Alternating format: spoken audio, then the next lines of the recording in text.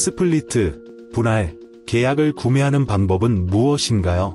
Split 라이센스를 구매한 후 다음 단계는 Split 계약을 구매하는 것입니다. 본 글에서는 Ultima. 로 Split 계약을 구매하는 방법을 보여드리겠습니다. De FIU.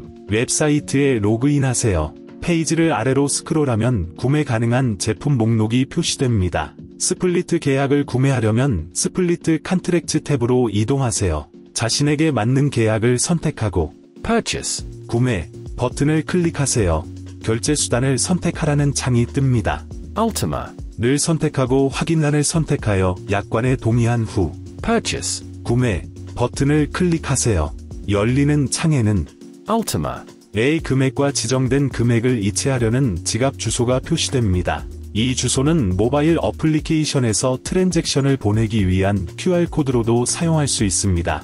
결제하려면 지정된 지갑으로 필요한 금액을 보내세요. 화면에 보이는 정확한 금액을 보내세요. 결제 알림을 기다립니다. 준비가 되었습니다. Split 계약을 구매를 완료했습니다. 계약을 구매한 후 대시보드에 Split license usage. 위젯의 값이 변경된 것을 확인할 수 있습니다.